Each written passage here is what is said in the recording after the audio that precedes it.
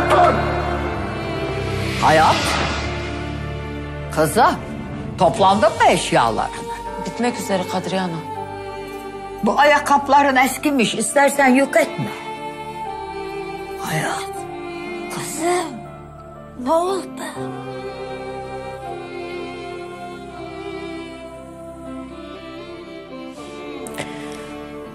Biz gidiyoruz.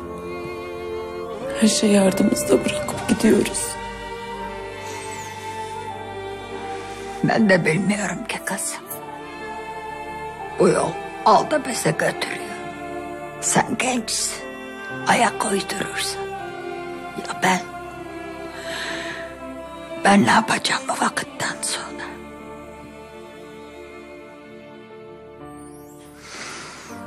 Kızım, Bak, ben seni gördüğüm gün bildim. Bir derdin var. Eğer aklında biri varsa, gençsin, güzelsin.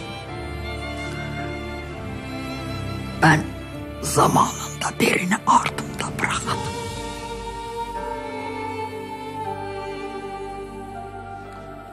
Sen bırakma kızım.